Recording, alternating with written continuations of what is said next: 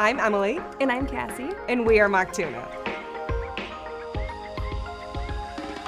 Mock Tuna is a lighthearted commercial photography studio located in Slavic Village outside of Cleveland. Cass and I both studied photography in school, and it was something we both were really passionate about, but it wasn't until we met each other that we knew we wanted to grow it into something more. That is where MockTuna was born, and since then we have been focusing our passion not only towards photography, but also the relationships that we've been growing throughout the years. Every day is pretty different at the studio, but the one constant is the space is filled with people. When our clients come into the studio, it feels like we're just hanging out with our friends. We have a really incredibly talented group of people that we work with at the studio, and we realize that the best work we do is together.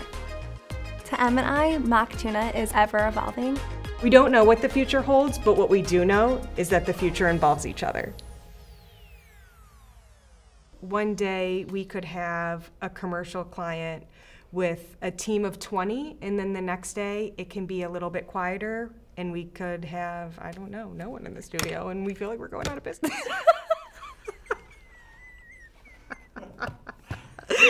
Cut.